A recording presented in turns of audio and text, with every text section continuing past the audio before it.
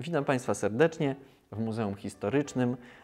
Postaramy się dzisiaj Państwu przybliżyć dzieje jednego z naszych zabytków, takiego dosyć popularnego, ponieważ funkcjonującego w domach wszystkich Polaków w okresie międzywojennym, a i dzisiaj pewnie pod niejedną strzechą jeszcze by się taki e, zabytek znalazł. Chodzi o monetę złotową, jedną złotówkę z okresu międzywojennego, noszącą datę 1929. E, monety te, pomimo tego, że noszą właśnie taką datę, były bite pomiędzy 1928 a 1938 rokiem, czyli tak naprawdę przez 10 lat z przerwami, e, z tym, że większość nakładu właśnie w 1929 roku były wy- wykonane, a w zasadzie są wykonane te egzemplarze, które dotrwały do naszych czasów z niklu.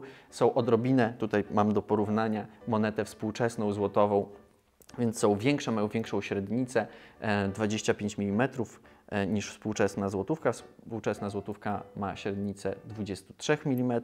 No i są oczywiście cięższe, ponieważ e, waży ta złotóweczka historyczna 7 gram, a ta współczesna gram 5. Jeśli chodzi o kwestie formalne, to różnice są niewielkie, ponieważ obydwa e, e, numizmaty zostały wyemitowane przez to samo państwo.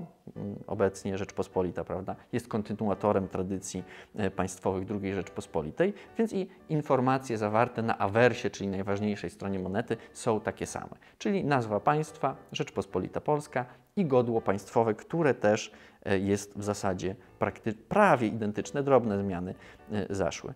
Tak się złożyło, że monetę współczesną, którą tutaj mam do porównania, i tą monetę historyczną, dzieli 90 lat równo, e, no pra- prawdopodobnie, bo ta 1929 mogła być wybita troszeczkę w innym momencie, e, a ta współczesna jest datowana na 2019 rok. I na tej monecie współczesnej jeszcze jeden szczegół, na który polecam Państwu zwrócić uwagę, chociaż jest bardzo, bardzo e, mały i słabo widoczny. Pod szponem orła znajduje się monogram mennicy państwowej MW, czyli mennica warszawska.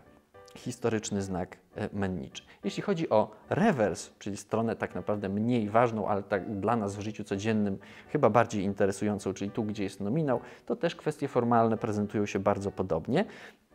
Mamy e, jedyneczkę, cyfrę arabską i napis złoty, czyli określenie waluty. Na współczesnej złotówce te e, informacje otoczone są wieńcem z liści dębu czerwonego. Na złotówce historycznej bardzo ładnym takim kartuszem e, florystycznym w stylu Art Deco. Projektantem, projektantem tej złotówki międzywojennej był e, Mieczysław Kotarbiński e, i zwróciłem Państwu uwagę na ten znak menniczy na złotówce współczesnej, ponieważ złotówka historyczna też ma taki znak, chociaż wygląda on troszeczkę inaczej, jest zlokalizowany właśnie na rewersie. Tutaj na samym dole monety, w narożniku tego e, pięknego ozdobnika florystycznego widzimy e, herb Kościesza, czyli też właśnie znak mennicy warszawskiej. Mo- Moneta funkcjonuje oczywiście w e, świecie trójwymiarowym, więc ma i trzy strony, o, którym, o czym często e, zapominamy. E, Na złotówce współczesnej, na rancie, czyli brzegu monety, mamy zakodowaną informację dla osób niewidomych, która przy skorelowaniu tej informacji z wielkością monety mówi tym osobom, jaki jest to nominał. I tutaj właśnie mamy takie na przemian karbowanie i przestrzeń gładką.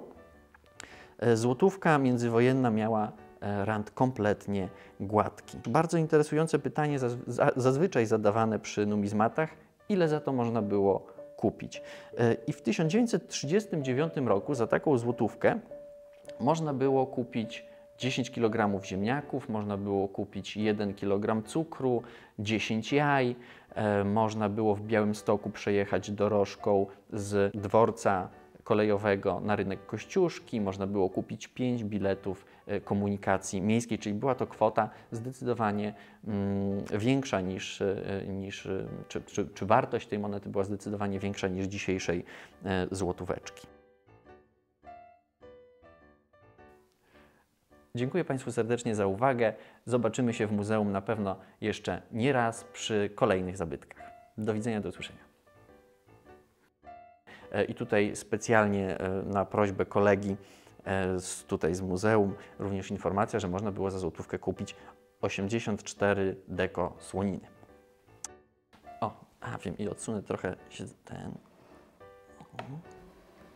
Bo już spadam z tego siedzenia. O. Można już?